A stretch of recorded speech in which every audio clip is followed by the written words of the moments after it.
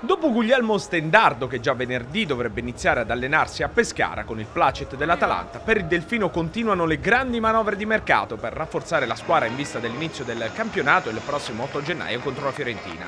Servirebbe anche un altro tassello dietro, anche se su Cesare Bovo nelle ultime ore è spuntata forte la concorrenza del Palermo, alle prese anche con una fragilità difensiva che ha in comune con i biancazzurri.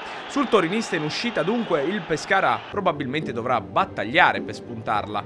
Sempre dietro Coda e Zuparic sono sul piede di partenza, mentre Zampano è richiesto sia in Italia, Fiorentina appunto e Sampdoria, che all'estero. Passando alla mediana, il Delfino sogna il ritorno di Rolando Mandragora. Il ragazzo, reduce da un infortunio subito proprio nella parte finale dello scorso campionato, è tornato alla Juventus e i bianconeri vorrebbero farlo recuperare al 100%, mandandolo sei mesi in una piazza dove potrebbe trovare lo spazio giusto.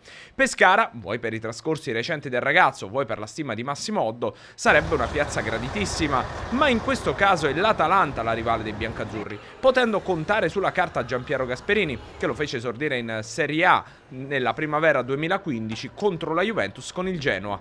Per questo saranno importanti le diplomazie su entrambi i fronti, col Pescara che non molla lui, così come Marcel Buchel, che il DS Leone conosce bene per averlo avuto nella Virtus Lanciano nella stagione 2013-2014, quando i frentani toccarono anche la vetta della classifica di Serie B con Marco Baroni.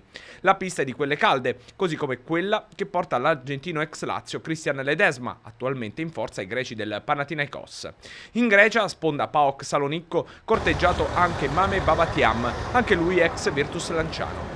Altro esubero in casa bergamasca il cileno, con doppio passaporto Carlos Carmona, esperto ma solo due presenze in questo campionato in maglia nerazzurra. Sarebbe un rinforzo utile per la zona nevralgica del campo. Infine l'attacco, dove un altro ex atalantino German Dennis continua ad essere in pole position, insieme al croato della Sampdoria Ante Budimir, che in blu cerchiato è chiuso dalla coppia Murriel-Quagliarella, con quest'ultimo che dovrebbe presto rinnovare il contratto scadenza 2017.